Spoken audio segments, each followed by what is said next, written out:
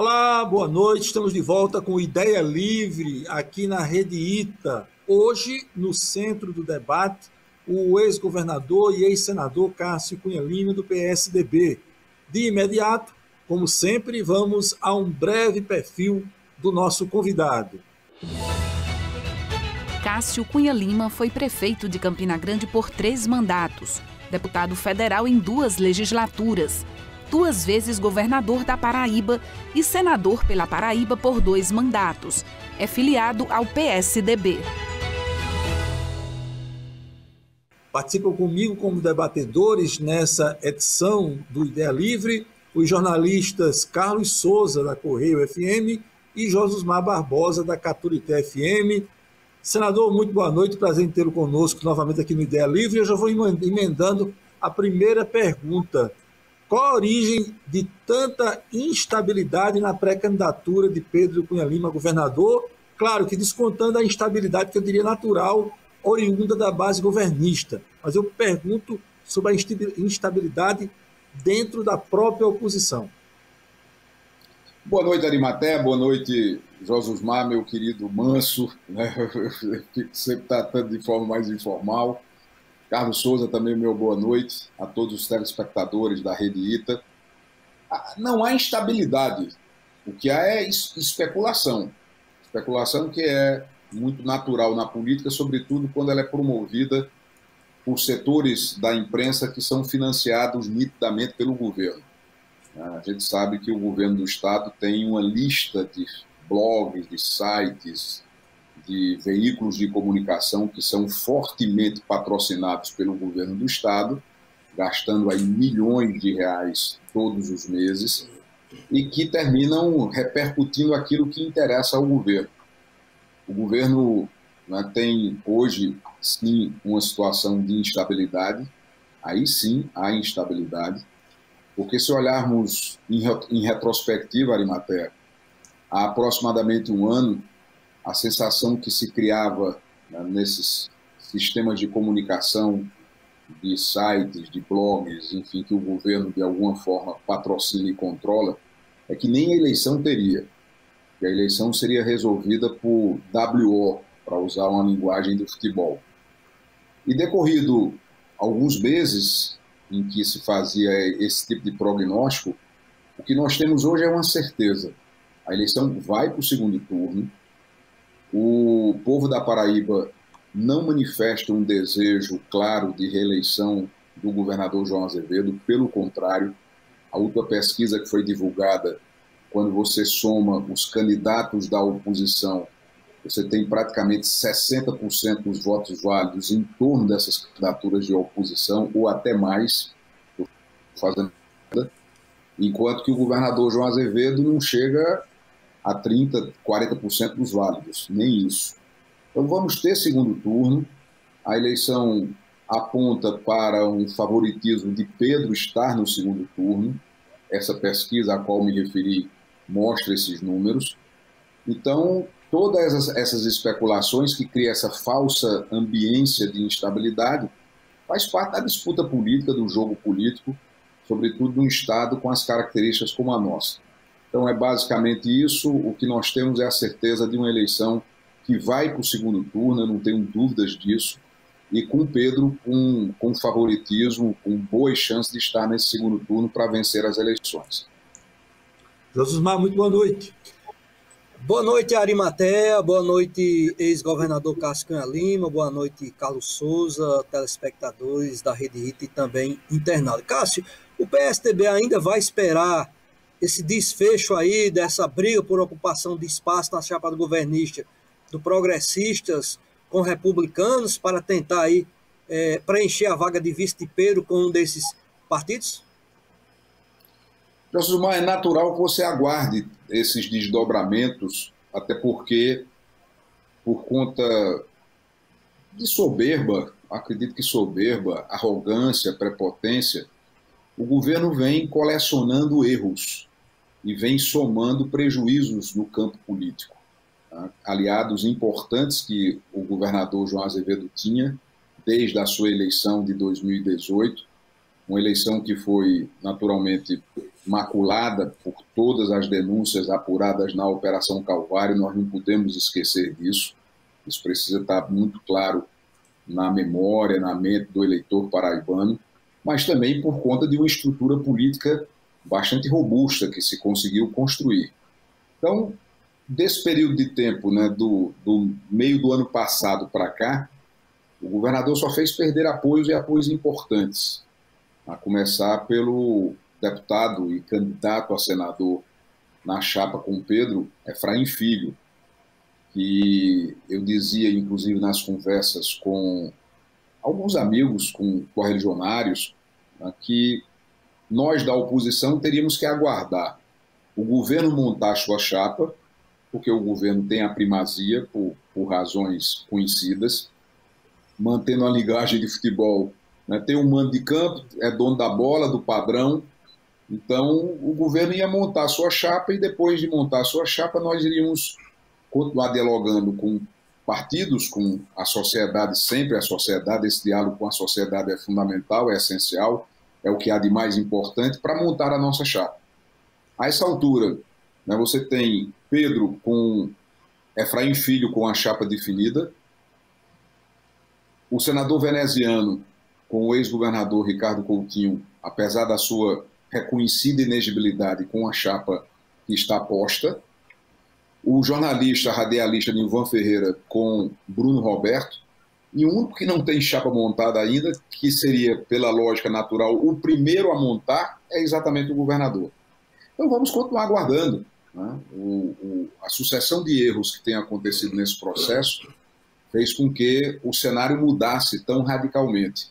Um cenário que há um ano, repito, apontava né, por todas as análises, a crônica política, para uma eleição que seria muito tranquila, praticamente inexistente, uma eleição por WO, e que hoje é uma eleição disputadíssima, que vai para o segundo turno e que aponta para uma dificuldade muito grande na reeleição do governador João Azevedo que simplesmente passou o primeiro ano escondido da polícia com medo da Operação Calvário.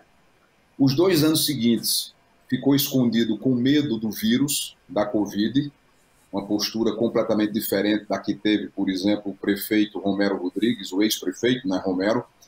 Romero, o que é que fez em Campina Grande?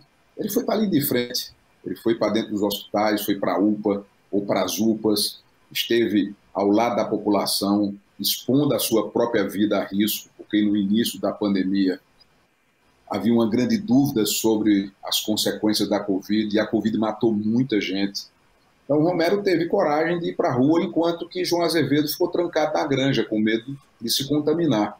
Então o primeiro ano do governo foi escondido da polícia por, com medo da Operação Calvário.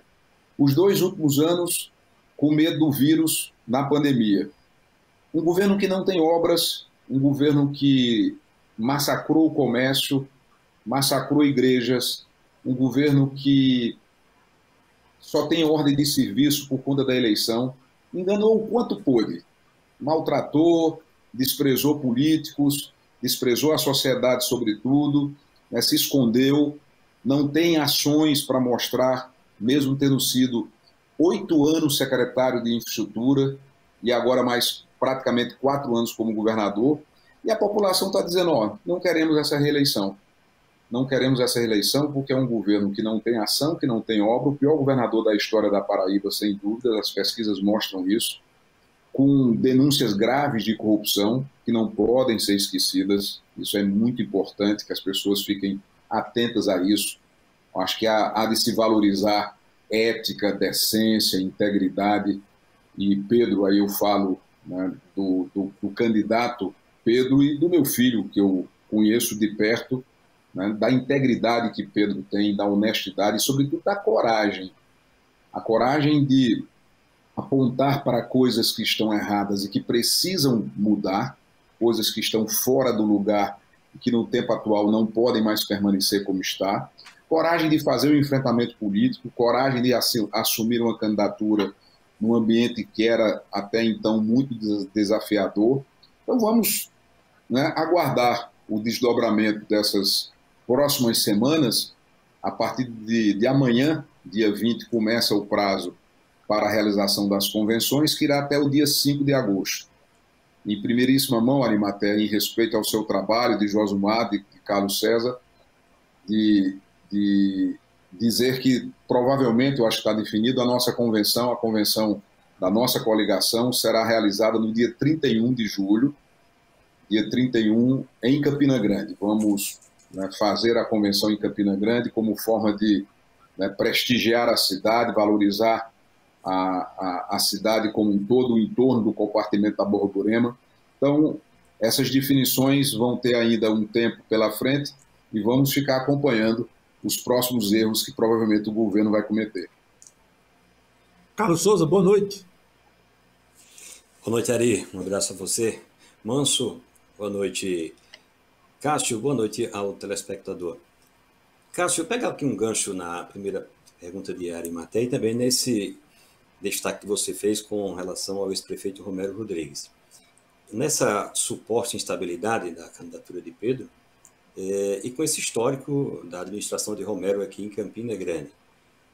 Não sei se o senhor tem viajado pela Paraíba acompanhando essas visitas do deputado Pedro, mas por o senhor tem andado, conversado com as pessoas, o que é que as pessoas têm falado sobre o nome de Romero? Porque eu tenho recebido informações de que as pessoas defendem o nome de Romero, ainda depois mesmo da desistência dele, mas defendem o nome de Romero como sendo o melhor do agrupamento político. Romero até tem dito nos bastidores que é, pode pensar em conversar essa situação ainda com o grupo. Como ainda não chegamos às convenções, é, o senhor tem ouvido da população é, essa defesa do nome de Romero como candidato a governador, pelo histórico dele como administrador aqui em Campina Grande? Carlos, eu escuto sim, né, o que você traz é algo, é algo verdadeiro. Eu, eu não tenho viajado com, com intensidade, com profusão, é, mas por coincidência, nesse final de semana que passou, estive com o próprio Romero, né, ali, aqui perto, em Lagoa Seca, Puxinanã, tivemos uma agenda em conjunto com o Pedro, com o candidato a deputado estadual e ex-prefeito de Lagoa Seca, Fábio Ramalho, né, já em Areal, Romero não foi, porque o deputado federal apoiado em Areal, junto com Fábio, é Leonardo Gadelha. Então, estive com Leonardo Gadelha também. Numa programação no domingo que foi exatamente o Xinanã, Lagoa Seca, Areal e depois terminamos no sítio São João, em, aí em Campina. Né? Festa belíssima, né? todos os organizadores do sítio São João de parabéns. Eu considero que o sítio São João seja na atualidade, o espaço mais qualificado do maior São João do mundo. Você tem outros espaços muito qualificados, mas o sítio São João, de fato, tem um elemento de diferenciação que merece esse reconhecimento. Então, conversei com o Romero, andamos juntos, né? não faz muito tempo também estive no Parque do Povo, né? fazia alguns dias que eu não tinha ido ao Parque do Povo, porque peguei Covid, enfim, não tive facilidade por conta de problemas de saúde, e é natural, fruto do belíssimo trabalho que Romero fez em Campina Grande, e há de se reconhecer Romero como um dos melhores prefeitos da história da cidade, sem dúvida nenhuma, né, sai com um trabalho notável que as pessoas espontaneamente defendam o nome dele para o governo. E até bem pouco tempo atrás, Romero era o nosso candidato ao governo do Estado. Então, Pedro se sente representado por Romero, Romero se sente representado por Pedro. É natural que nas opiniões que cada um tem o direito de ter, manifestem suas preferências, manifestem suas vontades, e tudo isso acompanhamos e assistimos com absoluta naturalidade como um justo e um justo reconhecimento ao trabalho de Romero. É, Romero né, tem uma candidatura posta a deputado federal, Pedro disse isso ontem, não sei se foi em Puxina não, e foi em Areal, acho que em Puxina não, porque Romero estava presente, né, disse no domingo que passou. É, muitas vezes você vota, geralmente o voto é, é uma manifestação de esperança. Né. No caso de Romero, você não vai votar apenas por uma esperança, você vai votar também por um agradecimento. Acho que Romero terá uma votação extraordinária, tenho certeza, não apenas pela esperança que ele traz, mas pelo agradecimento que a cidade com certeza fará ao extraordinário trabalho que ele realizou como prefeito. Então é natural que esse tipo de comentário surja. Cássio, é, qual foi o nível de avanço nos entendimentos que foram mantidos com o Partido Republicanos há pouco tempo e que condicionantes o REP apresentou para eventualmente avaliar uma composição com o PSDB? Não, não houve de forma nenhuma nenhum tipo de condicionante, em nenhum instante nenhum tipo de condicionante. Apenas o Republicanos hoje é indiscutivelmente o mais importante partido político da Paraíba.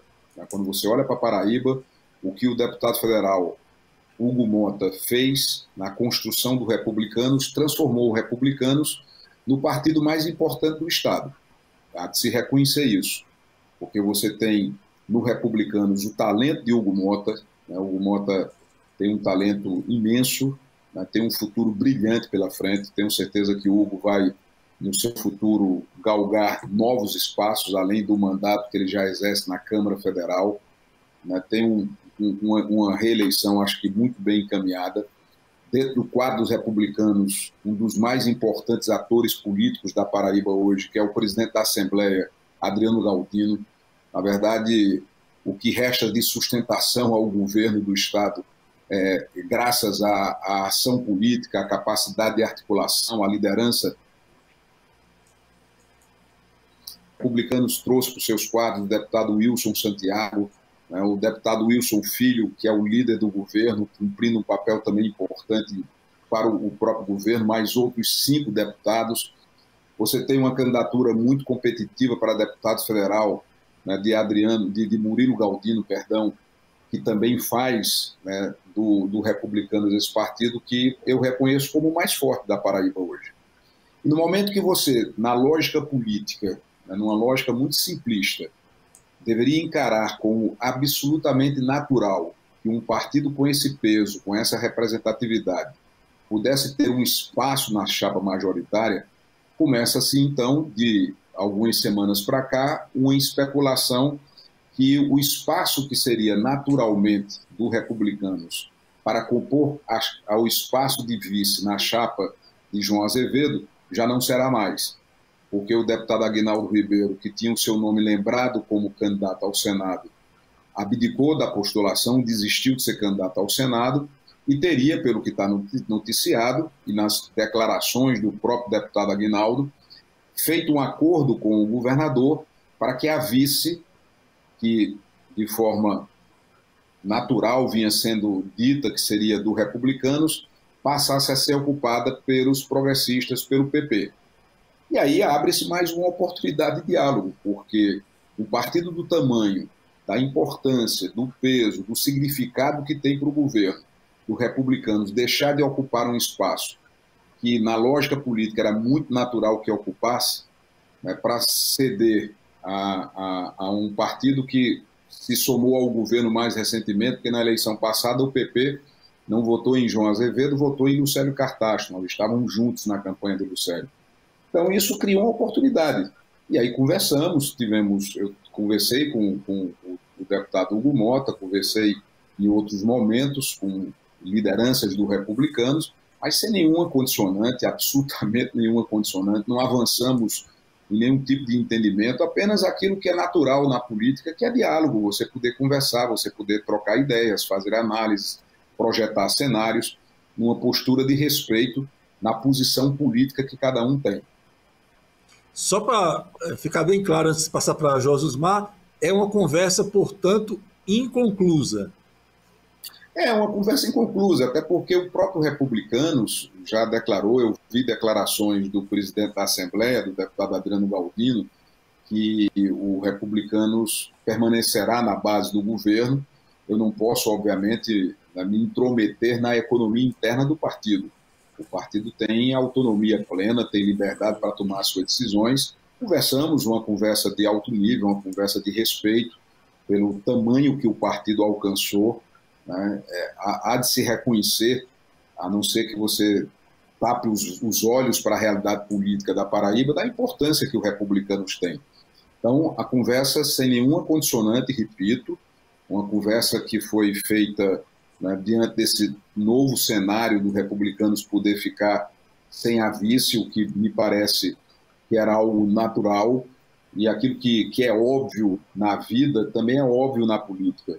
É, é, é difícil você entender que um partido com esse tamanho, com essa importância, né, com a representatividade que tem, vai ficar fora da chapa majoritária. O que é que, vai, o que, é que nos cabe? Vamos esperar. Né? Vamos, vamos esperar o que é que vai acontecer para que nós possamos ter a capacidade de melhor avaliar o desdobramento desses acontecimentos que estão por vir. Josusmar. Ex-governador ex-governador Casquinha Lima, é, do agrupamento político do qual o senhor faz parte, o senhor ainda é a maior liderança estadual. E por que, é que o senhor resolveu não concorrer a nenhum cargo eletivo este ano? O senhor ainda está amargurado com os dois insucessos nas últimas eleições, com a maioria do eleitorado, com as lideranças políticas. O que você atribui o insucesso na última eleição ao Senado? O senhor caiu, entre aspas, no ponto do vigário do segundo voto? Manso, não há, não há mágoa nenhuma, não há ressentimento, rancor, muito pelo contrário. No meu coração, só gratidão. Gratidão a Campina Grande, gratidão a Paraíba. Eu, gratidão a Deus, em primeiro lugar, né, que sempre me concedeu caminhos de êxito, de vitória. Eu posso dizer, sem né, falsa modéstia, que eu sou um homem bem sucedido, graças a Deus. Ao tempo que eu estive na vida pública, eu sempre né, consegui ocupar todos os cargos que disputei, mesmo não tendo sido reeleito agora mais recentemente para o Senado, mas consegui me eleger senador, sendo até hoje o senador mais votado da história da Paraíba, tive mais de um milhão de votos, quando me elegi governador também com mais de um milhão de votos. Então, no meu coração, só gratidão. Só existe um sentimento ao povo de Campina, ao povo da Paraíba, que é gratidão. Mas a vida a vida é muito curta para você fazer uma coisa só. O meu desejo era ter voltado ao Senado. Não foi esse o desejo da maioria do povo da Paraíba. E resolveu escolher a senadora Daniela, o senador veneziano, e o que me compete é acatar essa decisão, a decisão soberana, que deve ser respeitada. Eu posso até fazer crítica ao modelo de escolha né, do sistema eleitoral brasileiro quando você tem duas vagas para o Senado. Na Argentina, por exemplo, quando você tem duas vagas para o Senado, o eleitor escolhe um senador e os dois mais votados, ou senadora, claro, né? Um senador ou senadora, e os dois mais votados são os eleitos. No sistema brasileiro tem um paradoxo. Muitas vezes você é derrotado pelo seu próprio eleitor, quando esse eleitor faz uma segunda escolha. Então, se tivéssemos uma regra onde o eleitor da Paraíba votasse em apenas um senador ou senadora, eu talvez tivesse eleito, porque de fato eu tinha uma liderança em todas as pesquisas até a sexta-feira, na véspera da eleição, todas, todas as pesquisas me apontavam como líder na preferência popular. A partir da sexta-feira, quando o eleitor começou a pensar no segundo voto, é que minha eleição começou a complicar, porque eu tinha um primeiro voto muito forte mas não tinha um segundo voto. A senadora Daniela fez uma campanha onde o slogan era a senadora de todos. Então ela tinha o meu segundo voto com muita lealdade, com extrema correção.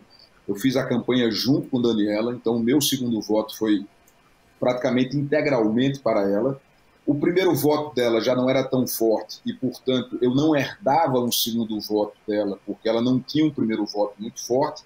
E com muita competência, com a estratégia correta, ela foi também o segundo voto de Roberto Paulino, que tinha uma candidatura solteira pelo MDB. Ela mordeu um pedaço do segundo voto de Veneziano. Ela pegou um pedaço do segundo voto de Luiz Couto. E aí teve sucesso na eleição dentro da regra do jogo, né, com instrumentos que ela tinha junto ao governo Temer. Né, ela tinha acesso, através do deputado Aguinaldo Ribeiro, de recursos do Ministério da Saúde, já que o PP controlava o Ministério da Saúde e as prefeituras receberam teto completo de PAB, né, que é a atenção básica, de MAC, que é a média e alta complexidade, o que trouxe para a candidatura de Daniela um apoio importante de um grande número de prefeitos que votavam comigo, ou votavam com o veneziano, ou votavam com o Luiz Couto e, davam o segundo voto a ela. Enfim, não há ressentimento, tá? é a regra do jogo, as coisas são assim. E depois de perder a eleição, eu tive que cuidar da minha vida. Eu tenho família para cuidar, tenho que trabalhar e fui me reinventar, digamos assim. E hoje estou na minha atividade privada, graças a Deus, tendo sucesso. Né? eu por isso agradeço muito a Deus por todas as oportunidades que tem me dado, porque da mesma forma que tive êxito na política, hoje vivo, devo dizer, com mais tranquilidade, com mais sossego, né, com um pouco mais de, de paz mesmo, que a política é uma guerra permanente, e tendo sucesso naquilo que eu venho fazendo é, na minha vida pública. Não há nenhum ressentimento, pelo contrário, repito e insisto, gratidão, gratidão, gratidão é o sentimento que toma conta do meu coração por todos esses anos que estive na política. E talvez a minha contribuição já tenha sido dada. Né? Foram quase 40 anos de, de, de, vida pública, 35 deles exercendo mandatos, né? deputado federal, governador, senador, prefeito por três vezes. E talvez, né, já beirando aí meus 60 anos, estou com 59, mas adoro dizer que estou com 60. Para me dizer que já estou com 60. Talvez seja a hora de, de, de realmente parar e, e, e olhar para o tempo que está por vir. Essa geração que chega, né, tem uma geração de novos políticos que vão, com certeza, liderar o Brasil, vão liderar a Paraíba com mais vigor, com mais energia, com um olhar mais moderno, um olhar contemporâneo. Enfim, estou em paz com a minha decisão de não ser candidato, é uma decisão que está tomada, amadurecida, refletida, e vamos né, continuar contribuindo em outras trincheiras de luta que é possível você trabalhar por uma sociedade, por um povo, mesmo não tendo mandato. E é o que eu procuro fazer. Trabalhar por Campina, trabalhar pela Paraíba, ajudar as pessoas sempre que posso, mesmo não tendo mandato eletivo. Carlos? Cássio, eh, talvez não, esteja eh, encerrando a carreira cedo, talvez tenha começado cedo demais, né? Começou muito novo. É isso, é boa, Carlos, é exatamente isso. Eu comecei muito cedo, desculpa lhe interromper, me perdoe lhe interromper, mas também pesa muito isso. Eu comecei com 23 anos. Né? Eu estou com 59, mas já exerci 35 anos de mandato. Né? Então, comecei muito cedo, muito jovem, e antes do mandato de deputado federal constituinte, eu já estava muito próximo ao meu pai, o nosso poeta Ronaldo, né? quando ele se re... ele voltou né, da, da época da ditadura e se elegeu prefeito em 82, eu já estava ali colado com ele. Ou seja, desde meus 19 anos, eu, eu já estava ao lado do meu pai. Então, de 19 para 59 são 40 anos. 40 anos é uma vida né, de dedicação, não me arrependo de nada. Então, desculpa ter interrompido. Pesa também, né, eu acho que a sua frase foi muito, muito bem posta. Talvez eu não tenha terminado cedo, eu comecei cedo. Né? É isso. Ontem, é, o deputado Pedro é, entrevista na capital, ele falava sobre uma possibilidade do PSDB apoiar aqui na Paraíba a candidatura à presidência da República da senadora Simone, Simone Tebet do MDB. Poderia até ser uma coisa estranha aqui no Estado, né? O MDB tem um candidato que não apoia a candidata do partido, seria o senador veneziano, apoiar, que apoia o candidato Lula do PT, e o PSDB apoiar o, a candidata do MDB. Essa discussão é, nacional, o partido já está definindo em nível nacional, seria com a participação, o senhor até falava que teve uma conversa com o Tassi Gereissati, seria essa possibilidade do Tassi Gereissati ser o vice de Simone, e aí a Paraíba apoiar a, a senadora para presidente da República, sendo do PSDB, do, do MDB? Carlos, essa, essa possibilidade está posta, sim. O PSDB discute a possibilidade de fazer uma aliança nacional com o MDB, que já definiu a candidatura da senadora Simone Tebet. Tenho um profundo respeito pela senadora Simone, até porque nós convivemos juntos no Senado. Eu posso trazer o testemunho da mulher íntegra, combativa, competente, experiente, dedicada. Inclusive, a nossa relação tem, tem algo de pessoal muito, muito bacana porque o pai da senadora Simone Tebet foi um grande amigo do meu pai também no Senado Federal. Uh, meu pai, Ronaldo Cunha Lima, foi senador junto com Rames Tebet e eles fizeram ali na convivência no Senado uma amizade muito fraterna que se desdobrou, não com a mesma intensidade. Eu não tinha, né, não tenho com a senadora Simone Tebet o mesmo grau de amizade, né, de relacionamento que o meu pai construiu com, com, com o pai dela, Rames Tebet, ambos já falecidos, né? Mas pude conviver com Simone. E ela é uma mulher que merece o respeito, merece ser observada como pré-candidata. É, primeiro turno, você tem essas opções diversas que fogem um pouco dessa polarização que está muito, muito nítida entre o presidente Bolsonaro e o ex-presidente Lula. Vamos aguardar as definições também do, das chapas do cenário nacional e Tasso Gereissati, sendo candidato a vice da senadora Simone, nos traz um, um dever moral, um dever ético de estar juntos. Reputo Tasso o melhor político em atividade hoje no Brasil, pela experiência, por tudo que fez, não apenas como senador, mas pelo que ele transformou o Ceará. É, Tasso é responsável por uma mudança profunda no estado do Ceará. Um homem que tem mais de 40 anos de vida pública, não tem uma nódoa no seu comportamento íntegro, honesto, decente, bom brasileiro, competente e meu amigo. E durante esse tempo eu já conhecia Tasso, né, da nossa convivência dentro do PSTB, na política de forma mais geral, e depois no Senado passei a me aproximar ainda mais dele, numa convivência que, posso dizer, me faz tê-lo como um amigo. E um amigo você não abandona numa hora dessa. Né? Então, Tasso tem o meu respeito, a minha admiração. Eu posso dizer que não é apenas minha, de Pedro também. Né? Tasso tem uma capacidade genial né, de ouvir, ouvir os mais jovens. Pedro né, vai ao encontro de Tasso e sai encantado, porque Tasso, com toda a sua experiência, tem um, um espírito jovem, né, transformador, vanguardista, disruptivo em muitos momentos. Então, vamos aguardar essa definição, mas a possibilidade para responder de forma mais objetiva a sua pergunta, Carlos, existe, e em sendo confirmada, nós vamos por esse caminho, não tenha dúvida.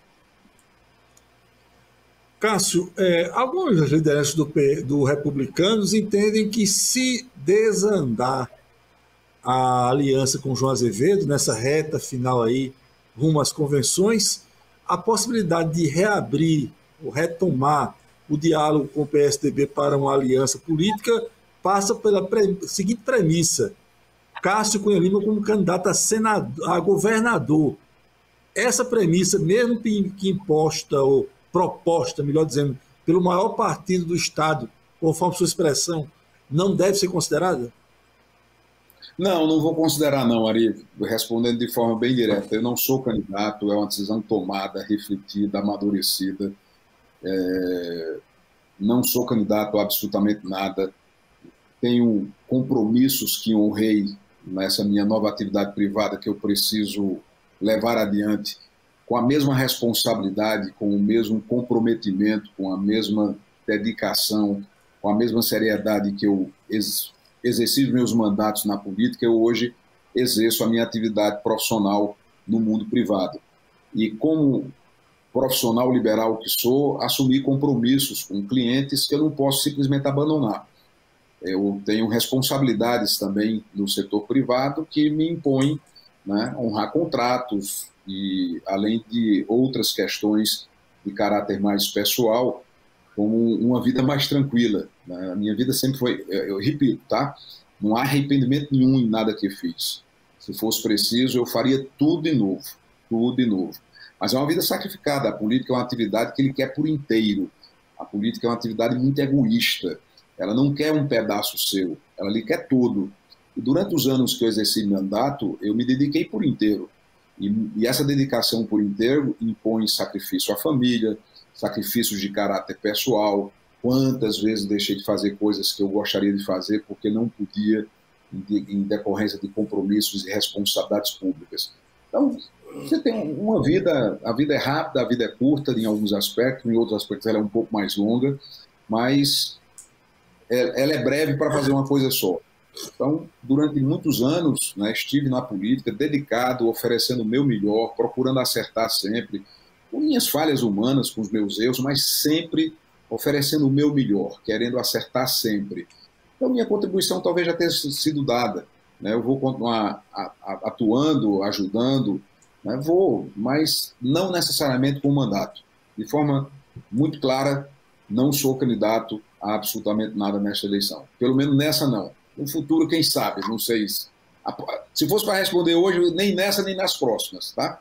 Mas a, a máxima popular deve ser né, observada sempre. O futuro a Deus pertence. Vamos deixar o futuro falar mais adiante. Nessa eleição, não sou candidato a nada.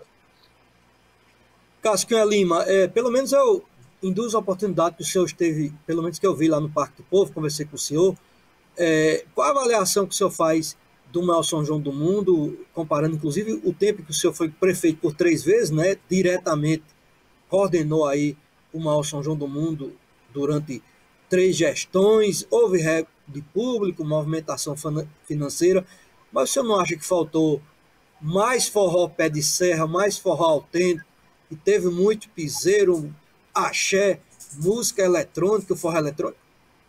Pode descaracterizar a festa? Josumar, eu, eu, eu não sou de fazer patrulha cultural. Eu não, não, não, aliás, eu não gosto de patrulha de, de ordem nenhuma, nem cultural, nem ideológica, nem pessoal, nenhum tipo de vigilância né, que queira impor opiniões não conta com minha simpatia. O, o, o São João é uma festa de forró, é uma festa eminentemente de forró, e assim deve ser preservado, assim deve ser mantido, conservado, para que se cuide daquilo que lhe sustenta, que é a sua raiz de origem cultural.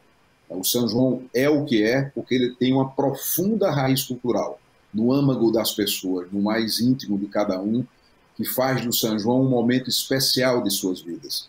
O São João não é apenas uma festa, o São João é uma experiência, uma experiência de vida, na de todos nós. Todos nós temos uma história para contar num período de São João. Né? Muda o clima, muda a temperatura, se transforma o astral das pessoas, o, o, a animação nas famílias. Enfim, existe uma ambiência, um estado de espírito que as pessoas passam a viver nesse momento tão especial como São João, que só se compara talvez ao Natal. Essa que é a verdade, tamanha a força desse, desse evento popular né, da, na, da nossa região. Então, o forró é a expressão musical do São João. Agora, há de se abrir espaço para piseiro, para sertanejo, até para música eletrônica. A Loki teve no Parque do Povo, fez um show monumental, eu não pude assistir, vi apenas algumas imagens pela internet, pela televisão. Aliás, resiste-se né, o gesto cidadão de Alok, que fez a doação do seu cachê né, para iniciativas de caráter social. Durante a pandemia, né, eu tive a oportunidade de fazer duas ou três vídeos conferências com a participação de Alok no, no Unidos pela Vacina. Né, teve um grande movimento de empresários, de lideranças do Brasil, intitulado Unidos pela Vacina, e Alok foi um ativista né, nesse sentido. Então, eu sou contra esse patrulhamento, mas defendo sim, e tenho certeza que é esse o pensamento do prefeito Bruno, da Prefeitura de Campina, que a pilastra principal do, do, do, do, São João, do maior São João do mundo, continue sendo, e não pode deixar de ser nunca, o forró. Carlos. Cássio, Cássio você foi um, um, legislador de destaque, né? tanto como deputado lá, deputado constituinte, como senador, foi protagonista lá no Senado Federal, assumiu a vice-presidência do Senado. Eu queria ouvir a sua opinião sobre o que o Congresso aprovou recentemente, essa PEC chamada de Kamikaze, que, como argumento para estado de emergência, utilizou-se até a guerra da Ucrânia, é, para ter esse benefício para a população carente. A isso ultrapassando os limites de gasto, a lei de responsabilidade fiscal, é, o senhor concorda com tudo isso que aconteceu? A, a, o momento requer tudo isso, lei eleitoral sendo respeitada? Qual é a sua opinião sobre isso? Carlos, a, a, primeira curiosidade sobre esse tema é que esse apelido de kamikaze, né, que a PEC recebeu, foi dada pelo ministro Paulo Guedes. O próprio ministro Paulo Guedes, o ministro da Economia, que chamou a PEC lá atrás da PEC kamikaze. Então, a imprensa né, e o mundo político adotou a alcunha, né, o apelido de kamikaze, porque veio da boca do ministro da Economia, porque ela fura né, o teto de gastos e ela tem, no, a questão de furar o teto de gastos não é mais o importante, ela tem um, uma pressão muito forte sobre a inflação. Não há nada que penalize mais o pobre, não há nada que judie mais de quem é assalariado, não tem nada que aprofunde mais das desigualdades, que gere tanta pobreza, que amplie tanta miséria do que a inflação. A, nós somos de uma geração que convivemos com a hiperinflação. Tem uma população mais jovem que não tem essa memória inflacionária que nós mais velhos, nós que somos mais maduros, temos da remarcação diária do preço. Você comprava um quilo de feijão hoje por X, no outro dia era X mais Y. Isso valia para o arroz, para a carne, para o cuscuz, para o leite, para a água, para o gás, para tudo. Os preços eram reajustados diariamente no ambiente de hiperinflação. É claro que estamos longe de um ambiente de hiperinflação, mas a inflação voltou. E, e nada penaliza mais os mais pobres do que a inflação. E o que trago como preocupação é o fato de você oferecer uma ajuda que é provisória, uma ajuda que vai durar só até dezembro, mas dezembro chega com janeiro. E janeiro vem sem ajuda, vem sem socorro para a população. E a inflação fica corroendo o poder de compra do trabalhador, do assalariado, de quem vive de programa social. Você vai no, no, no na mercearia, no supermercado, né, onde você vai fazer sua feira, né, na feira livre, enfim, no mercado central, em qualquer lugar, e dias depois você já não compra a mesma quantidade de alimentos com aquele dinheiro que a inflação foi lá e comeu. Então, nada mais perverso para o povo do que a inflação. E é dela que nós temos que tomar conta. É dela que nós temos que controlar. É um monstro que já azucrinou a vida do povo brasileiro, já massacrou a nossa gente, já empurrou para a miséria, para a pobreza milhões de brasileiros. Porque os ricos se protegem. Os ricos conseguem se proteger. Quem não consegue se proteger da inflação e os seus danos nefastos é o assalariado. Então, essa medida, é claro que ninguém é contra ajudar as pessoas pobres. Né? Quem seria contra? Né? Você tem uma posição crítica à forma como está sendo feito. Primeiro que é um programa temporário. Né? Se fosse um programa permanente, onde já tivemos né, resultados positivos durante muito tempo, com, por exemplo, o auxílio que o presidente Bolsonaro trouxe na pandemia. Né? Aquele momento inicial da pandemia, aquele auxílio de 600 reais foi muito importante para atravessar. Como lá atrás, méritos teve o presidente Fernando Henrique Cardoso, que iniciou o programa de proteção social com o Bolsa Escola, que depois se transformou do Bolsa Família, já do governo Lula. Então, o governo Fernando Henrique, o governo Lula, governo Bolsonaro tiveram iniciativas nesse sentido que são louváveis, que são elogiáveis, que ninguém pode ser contra. Agora, existe uma realidade econômica que não pode deixar de ser reconhecida, que é a inflação. E a inflação precisa ser tratada com muito cuidado e com todo respeito, porque ela é desaforada e ela massacra, ela empurra para a miséria de forma permanente. Então, o que preocupa nesse instante é você trocar uma ajuda provisória por uma inflação mais duradoura. E essa troca não é boa, essa troca não é inteligente. É, Cássio, é, qual é o futuro Cássio... do PSDB? Virar um partido nanico ou uma inevitável fusão? Duas opções terríveis, né, Animatex? Você traz um partido. É o que o cenário recomenda. Não, eu acho que você está sendo, talvez, né, muito, muito duro na avaliação, né, com todo o respeito que eu lhe tenho. Você sabe do respeito que lhe tenho, não apenas em termos pessoais, mas também, sobretudo, com a sua capacidade jornalística, analítica. É, eu acho que o, PSDB fará, pelas projeções que o partido realiza, uma bancada de 30 a 35 deputados federais. Isso não é um partido nanico. Né? O partido tem problemas? Tem teve problemas reputacionais enormes, pagou um preço alto por isso, né, como legenda, como um todo, mas tem quadros de extrema qualidade. O partido tem quadros políticos de extrema qualidade, a começar pela Paraíba. É claro que tudo que eu falo a respeito de Pedro tem a marca da suspeição de um pai falando de um filho. Mas eu tenho um profundo orgulho de Pedro, pela integridade de Pedro, pela coragem, pela honestidade, pela ética, pela firmeza que ele tem, muitas vezes de ser contra-majoritário, né, de manter sua coerência. Coerência em política hoje é coisa rara, raríssima. Então, Pedro é corajoso, é coerente, é firme, é bem posicionado, aponta para problemas. Então, é um quadro político dessa nova geração que tem. Né, é, é isso que eu digo, eu sou suspeito porque eu sou o pai dele, mas tenho muito orgulho né, como cidadão, de ver um político com as características de Pedro no mundo como hoje. E, ao mesmo tempo, o partido tem um Tasso Gereissati. Eu falava de Tasso há poucos instantes.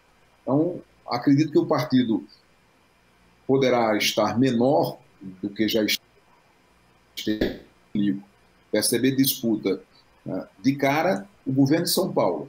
É um, um partido que disputa em, em, em, condições de vitória o governo do maior estado brasileiro, que é São Paulo, não pode ser considerado um partido não. Mais de 25 anos com um governo extremamente exitoso. Acho que poucas pessoas fazem o reconhecimento da importância né, do governo do PSDB em São Paulo por todo esse período de tempo. Eu sempre digo, Arimaté, se você me der mais um minutinho, é, o que seria do Brasil se São Paulo tivesse uma realidade fiscal semelhante à que teve o Rio de Janeiro, o Rio Grande do Sul, né, alguns estados do Nordeste. São Paulo foi responsável por manter o Brasil ativamente ativo e vivo economicamente pelo equilíbrio do Estado em gestões sequenciadas do PSDB. Então, numa análise fria, uma análise isenta, o país deve muito às gestões do PSDB em São Paulo, porque foi São Paulo que manteve esse país equilibrado, enquanto que Minas estava quebrada, Rio de Janeiro quebrada, Rio, é, Rio Grande do Sul quebrado. Então, o, o PSDB disputa vários estados do Brasil, inclusive na Paraíba, com a jovem candidatura de Pedro Cunha Lima, né, que traz essa esperança de mudança, de transformação, de hábitos políticos, de comportamento político, de conduta política que Pedro traz não no seu discurso, mas Pedro traz na sua prática política. Pedro faz com que as suas ações sejam muito mais eloquentes do que qualquer discurso. Pedro é um político contemporâneo, moderno, que tem a coragem, por exemplo, de renunciar uma aposentadoria especial que todos os deputados, senadores têm direito, para se aposentar como qualquer trabalhador pelo INSS. Pedro renunciou. Aí não é discurso, é prática, prática de, de, de exemplo. A sua aposentadoria especial para se aposentar como qualquer trabalhador pelo INSS. Pedro não recebe auxílio moradia, Pedro não recebeu auxílio mudança, Pedro promoveu uma economia de mais de 5 milhões de reais né, dentro do seu gabinete, 5 milhões de reais. Então, tudo que Pedro defende no combate a privilégios, né, quando ele diz, ora, não é justo que o povo, né, aqui quem está nos assistindo, né, de casa, levanta a mão quem tem auxílio moradia, quem tem auxílio saúde, quem tem auxílio creche. Só a elite da política brasileira, né, no, no, no, Congresso Nacional, né, no Poder Judiciário, no Ministério Público, que tem esse tipo de auxílio. E isso está fora de lugar, não cabe mais. E é essa crítica que Pedro faz. Porque o povo pobre não tem auxílio moradia. E esse precisa de casa. Não tem auxílio creche. E essas crianças precisam de creche. Aí, senador, deputado, juiz, promotor, procurador, tem auxílio moradia, tem auxílio creche. Isso precisa ser enfrentado. Então, são políticos como, como Pedro que conseguem trazer esse olhar diferente, corajoso, porque não é fácil você né, colocar o dedo nessa ferida né, que atinge o Ministério Público, que atinge justiça, que atinge o próprio, a própria carne, a própria pele dentro do Congresso Nacional. É, o Pedro tem feito uma crítica muito, muito justa. A Assembleia Legislativa, para 36 deputados, tem um orçamento maior que funcionários. Está errado isso. Né? Eu, quando fui governador, eu consegui consertar isso. No meu tempo de governador, o orçamento da UEPB depois do meu segundo ano de mandato, sobretudo com a autonomia que promovemos para a universidade, era maior do que a da Assembleia. Hoje não, hoje a Assembleia, para 36 deputados, tem um orçamento maior do que a OEPB, com 20 mil, 20 mil alunos, professores, funcionários. É óbvio que está fora do lugar isso, está errado. Então, Pedro tem a coragem de fazer esses enfrentamentos e tem, mais do que palavra, tem ação, tem prática, tem postura concreta que credibiliza tudo aquilo que ele fala. Um jogo bem rápido de perguntas e respostas com frases. Vamos lá, Josimar. Cássio Lima, você participou de várias eleições. Há indício de que a urna eletrônica pode haver fraude? Conversa polêmica em torno das urnas eletrônicas pelo presidente Jair Bolsonaro. Olha, você tem que ter sistemas que sejam aprimorados sempre. Qualquer sistema eletrônico pode ser alvo de, de, de fraude, pode ser alvo de tentativa de bula. É preciso que as autoridades garantam a, efic a eficácia, a proteção do sistema para que não haja qualquer tentativa de fraude. Cássio, é, essa disputa, esse acirramento e esse discurso do governo, é, o senhor teme pela futuro da democracia brasileira ou acha que isso não passa de, de, de retórica política? Perdão, eu, eu, eu não escutei sua pergunta. É, sobre esse acirramento e sobre esse discurso recorrente do presidente Bolsonaro, é, urna eletrônica, de, de, revisão, enfim, dizer que não, só Deus tira ele daquela cadeira. Você acha que a democracia brasileira corre algum risco ou, isso é retórica de, de, de candidato? Não, não acredito que a nossa democracia né, corra risco. Acho que já existe uma maturidade na sociedade de não permitir nenhum tipo de retrocesso. E quando eu digo sociedade, eu incluo as Forças Armadas, né, que estarão sempre dentro das regras constitucionais. Existe um espaço de, de convencimento político para setores da sociedade que pela primeira vez se, se enxergam e se veem representados pela, pelo presidente Jair Bolsonaro. Na verdade, o que aconteceu durante muitos anos no Brasil é que a direita brasileira não tinha uma representação que ela se olhasse no espelho e se identificasse tão profundamente como se identifica com o presidente Bolsonaro. Não foi, não foi o presidente Bolsonaro que criou a direita. Ele é que teve a capacidade de se vincular a essa parcela da população. É, ele, durante toda sua trajetória como deputado federal que foi, ele foi se identificando com a parcela da população que tem esse pensamento de direita, conservador, como é, qualquer que seja o rótulo, e, portanto, ele foi o único político que conseguiu, com força e com viabilidade eleitoral, se conectar a essa parcela da população, que votava muitas vezes no PSDB para não ter que votar no PT. Essa que é a verdade. Né? Fazendo aqui uma análise muito, muito serena, muito tranquila, de quem já não está diretamente na disputa eleitoral, né?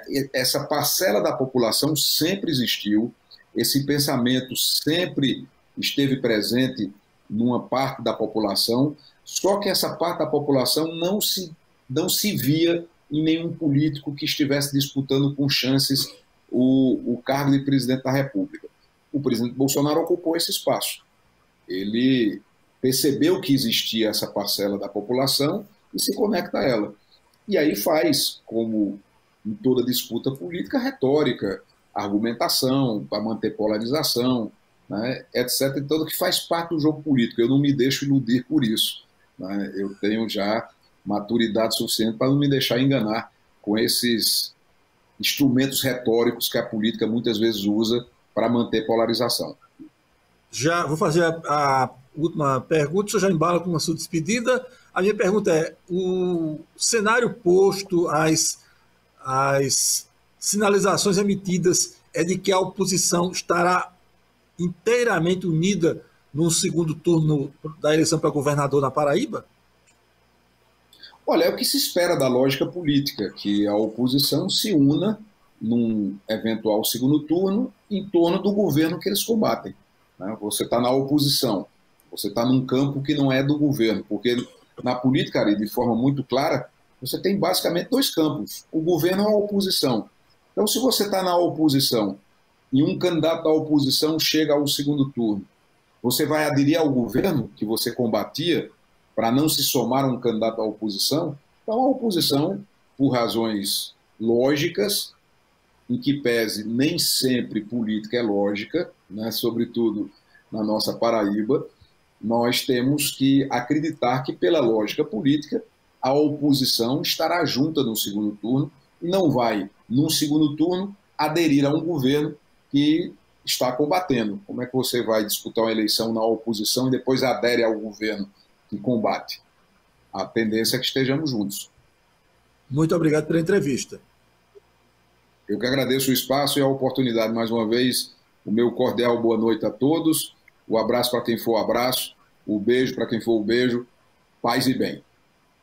Agradecimento renovado aos colegas jornalistas Carlos Souza e Josimar Barbosa pela participação hoje aqui no Ideia Livre. Como sempre, o agradecimento, por último, vai para você, telespectador. Desde já, encontro marcado, terça-feira que vem, 10 da noite, logo após o Jornal da Cultura, com outro Ideia Livre. Até lá!